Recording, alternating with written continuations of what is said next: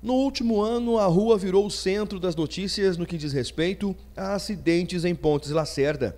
Praticamente todos os dias era vinculada a uma, duas ou até mais reportagens de acidentes registrados na rua Terezinha Coura Garbim. A TV Santa Catarina, juntamente com a Polícia Militar, veio alertando os condutores do risco que a falta de respeito com a sinalização representava.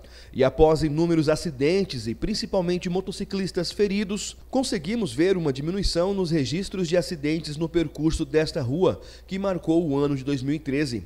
A Polícia Militar ressalta esta diminuição, mas ainda alerta os condutores para que continuem respeitando a sinalização. Todos os dias a gente tinha ocorrência de acidente de trânsito lá na Coragarbinha, que a, terminava por sobrecarregar um pouco o serviço da polícia, né?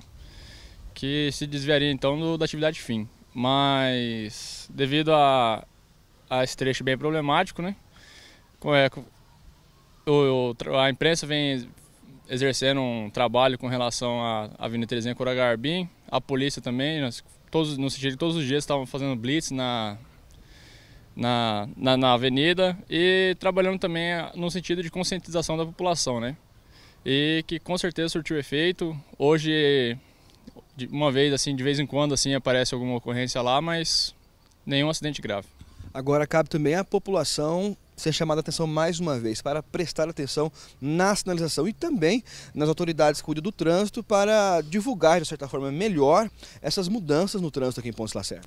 Não, com certeza, se não fosse a população também se conscientizar, né, e o trabalho da imprensa conscientizando, é, houve uma melhora significativa e hoje a gente pode dizer que atingimos o nosso objetivo na Avenida Terezinha Coragarbim, no sentido de, de que conseguimos diminuir a, a quantidade de acidentes de trânsito. A Polícia Militar, é claro, continua com o trabalho de prevenção e, é claro, até multando as pessoas que continuam andando de forma irregular.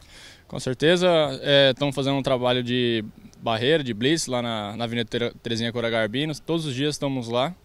É, mas para no sentido de conscientizar e, e, e exercer, promover a reeducação no trânsito das pessoas.